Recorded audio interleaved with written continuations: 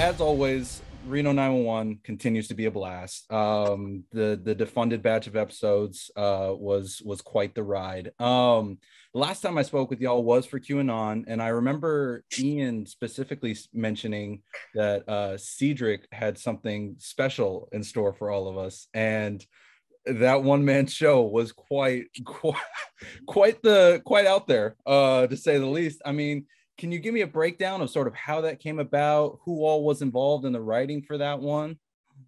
It started because we knew we needed something for Jones for this season. We needed a big, meaty piece. What we were trying to do was get him singing somewhere. Mm-hmm. So we were like, okay, is he on? This is before QAnon. So we're like, is he on a boat? Is he on a cruise ship? Is he a, some sort of, is he at an old age home? Like, where is he singing? And we kicked how- around that he had like a Jimmy Buffett tribute act at a hotel. Yeah. And then we also really popular with a, the MAGA crowd that he was a Billy Joel cover band for a while. We just kind of kept trying to get something. And then I was sort of thinking about, I wanted him to sing uh, Silk's "Freak You. and then we started kind of building up from there. And then sort of we talked to him and we're like, if you were, if Jones was going to tell the narrative of the, the black narrative in America, what would he tell? Yeah and of course that includes really some amazing things that i won't spoil but I you've probably seen one of them for no reason is sweeney todd um, that's brilliant it's just so uh, brilliant yeah. and we got to sit there and be the audience for it the only yeah. problem was we had to pretend like we were bored and tired and it was the most acting i've ever had to do on the show it's pure delight i'll say this we we actually scheduled jones 10th as the very last day of production and yes. I think because we all knew he had told us what outfits he wanted.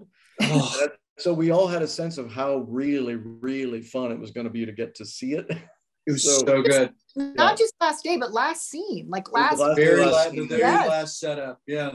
That was a little, he was um, like the ice cream truck that we were all looking forward to. I, I, I know you were thinking, when is Reno 911 gonna gonna spoof August Wilson? well, well, we did it we I finally was, those bastards they did it i was not expecting for a raisin to be as sexy as it was either, either. Yes, yes. so sexy such a sexy learn raisin. a lot let's just say you're gonna learn a lot if he um, yeah it's Emmy. It's Emmy. Cedric has a really amazing Emmy bait episode. Uh, yeah. In the in the Roku episodes. I would certainly love for him to get some kind of attention, even I just a, so. an honorable mention. that would be something will happen. Amazing. It's about damn time, as Grandma used to say. So, uh, as you mentioned, I mean, this batch of episodes was uh, conduct, you know, filmed and everything before QAnon, and so uh, as the subtitle of this season suggests, there it does deal with the the the theme of being defunded. So, I mean, how did that obviously there was current events happening at that time but how did it come to your guys' mind in the writers room to really incorporate that into this this season we were creating this show right when every single real cop show was being canceled uh, and we knew we couldn't avoid all of these topics that everybody was talking about we just knew we had to do it the reno way you know and i think that you know, we never ever try to offend. We never ever try to piss people off.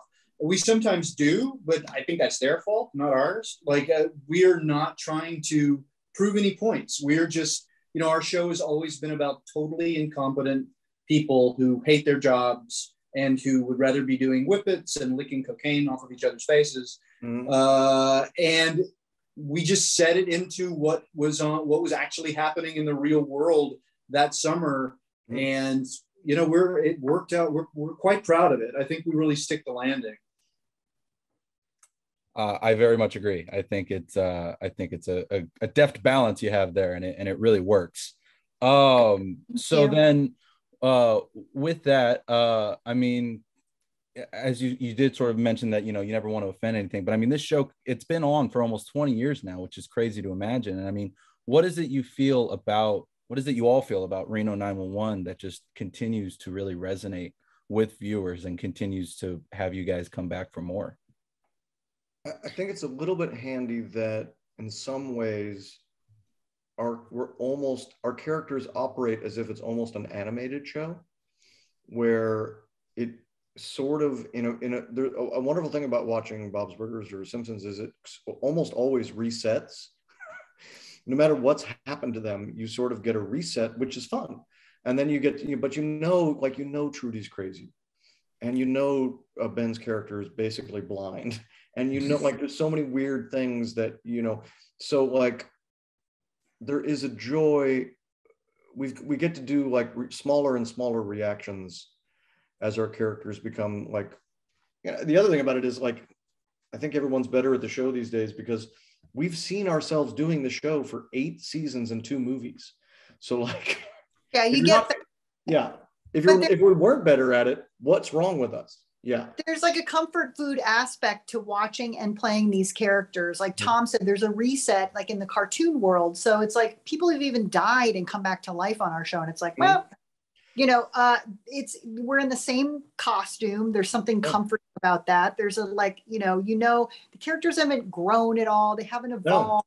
You know there there is that that aspect to you know that lucy's going to pull the football away and it's mm. satisfying and you're watching for that there there is a, a sort of family aspect to that you could t- you could tune in you know eight seasons ago the first movie to this movie to the to this season and it's really like oh it's those guys i know those guys I think that the fact that we're cops is almost irrelevant in a lot of the show. I think we could have been Agreed. anything. And, and, I think cops, police work is often like the setup or the gag, but I don't think people watch Reno for the gags. I think people watch Reno because they love the characters. And I think these characters are really good. And I, and I think it's the, the, the individual characters and the cast are amazing. And the combination of chemistry it's like there's nothing like it. Like it's just great. And I think it's I don't think people watch it because of all the police stuff. I think people watch it because of our cast and the, the characters. The, the in between moments are the which is in many ways what the show always was meant to be. And we certainly didn't feel this season like, oh, there's all this stuff going on in the world. Now is our chance to. It was just sort of like we're still doing the same stuff, still offending equal opportunity. We're still the same people with the same message, which is just like, you know, really not a real big one. it's not if real. We have a message. I do not know what it is. You don't have to dig. other than other than whippets are kind of fun. Yeah. You know, which, which we stand by that. We stand by I know it's, it's, like a terrible statement. they're a, they're, they're a, a crazy ride. That, that is that how you're getting through this snowstorm in Wisconsin? Well, thank you all so much for taking the time to chat with me. I again, I again, I really appreciate it. Uh, I, I had a blast with these episodes, and I really do hope you guys get to come back for more, whether it be with Paramount or Roku or whoever, because uh, this show just it continues to be a joy to watch. The next season is going to be on Arco, which means while you're filling up your gas can, it's going to be on the the gas. Uh, yeah. Great, thanks for having us. oh, Garant, also, would you, if you get a chance to put in not, not everyone knows you don't need a Roku box to watch Roku. Yes. Roku or, free, you can just watch it. Yeah. You yeah. watch it for free, either yeah. online or uh, if, it, if you but have a smart. Does not, you do not have to like go get a thing.